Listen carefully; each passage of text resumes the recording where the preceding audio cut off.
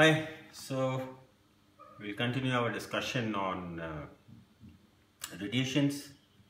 Like I said, what happens when our natural body system get invaded by foreign radiations?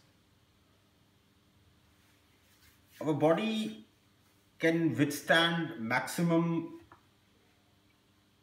radiation of 30 nanotesla reports from USA, Sweden and other countries says, you know, if it exceeds that, if it goes up to 50, 60, 70, 80 nanotesla, a serious cause of cancer. It can cause cancer. It is carcinogen. So be careful about that. Cancer cases, you know, can be treated, healed eliminated if they are detected early with alternative therapies like controlling the pH value and neutralizing your home or office or your place of stay from radiation. We know electromagnetic radiation, electromagnetic frequency by another name. It's called e-smoke. Electronic smoke, the smoke which comes from electronic devices, especially mobile, and Wi-Fi. Wi-Fi is very dangerous. I would suggest you switch off your Wi-Fi when not in use. Digital signals are normally pulsating and continuous signals. Suppose you have a mobile, it is always seeking the signal from the service provider. It is always on and it is like, you know, continuous radiation shower on your body and you are always with your mobile, you keep it in your pocket in your jeans pocket, in your near your bed while you sleep. So that is very dangerous. Basically what happens, what does radiation do?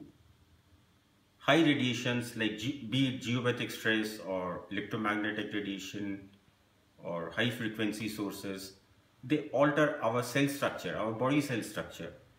They break off the cell bonds, the chemical bond between the cells and they cause cell mutation. They change the form of the cell, the spin of the cell, the structure of the cell, and sometimes they completely destroy the cell and they destroy the communication system between the cells. Suppose your hand cells are communicating with your brain cells and when you are affected by these radiations, geopathic radiations or electromagnetic radiation, they break down that communication system and it is the cause of many diseases and ailments and problems. They make your body more prone to ailments because they break down your cell structure. So normally if you can withstand a disease or you can withstand the onset of a disease, because your body has become weak because of radiation and you cannot withstand that and you become more susceptible to diseases, you are easily attacked by these diseases. 80% of the miscarriages or abnormal deliveries or autism in children are caused by these radiations.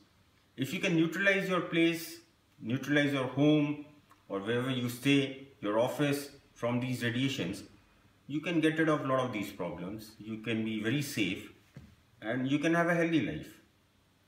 It, these radiations affect our brain, in children, it affects their uh, learning capabilities, attention span, hyperactivity, skin problems, memory loss, asthma, blood sugar fluctuation, diabetes. Diabetes is a very common problem now. Heart problems, fluctuation in your heart rate. Cancer. Cancer is caused by these radiation. Even uh, WHO, World Health Organization, has confirmed this. They say mobile signals cause cancer.